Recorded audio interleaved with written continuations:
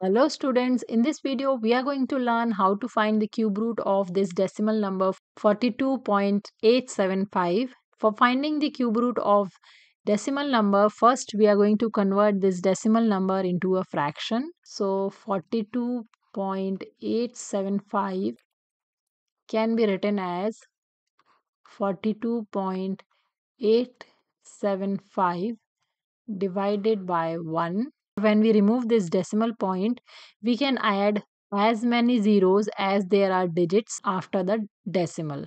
So 875 that is 3 digits. So we are going to add 3 zeros in the denominator to make it equivalent to 42.875.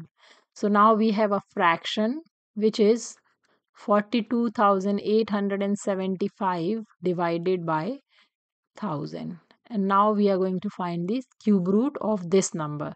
So cube root of 42.875 will be equal to cube root of 42,875 divided by 1000 so let's find the factors of 42,875 so here on this side, we are going to find the factors using the prime factorization method.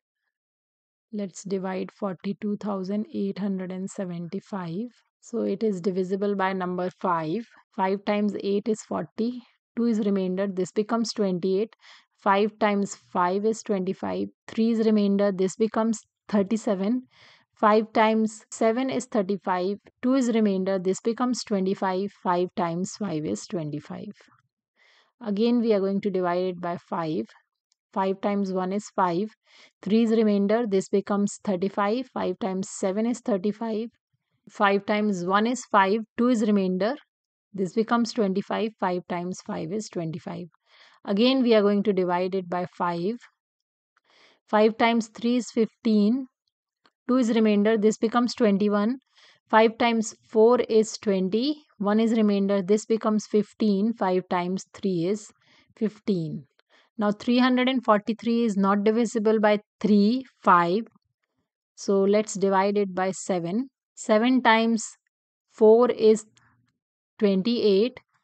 6 is remainder. This becomes 63. 7 times 9 is 63. 7 times 7 is 49. And 7 times 1 is 7. So we got the factors of 42,875 as 5 times 5 times 5 times 7 times 7 times 7. And the factors of 10,000 are 10 times 10 times 10. As we are finding the cube root, we can write these numbers in terms of cube in, in the exponent form as 5 cube times 7 cube divided by 10 cube. This cube and cube root will get cancelled and all the numbers will come out of the cube root sign.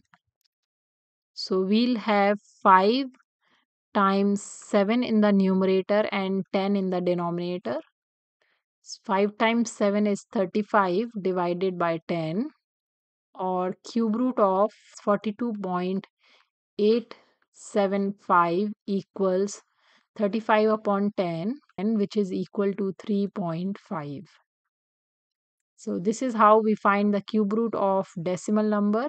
I hope this video is helpful to you. If you like the video, please hit the like button and subscribe to my channel for more math videos.